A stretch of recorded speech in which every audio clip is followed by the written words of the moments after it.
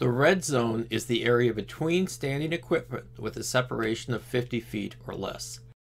This includes the space between coupled standing equipment when coupling air hoses and cutting in the air.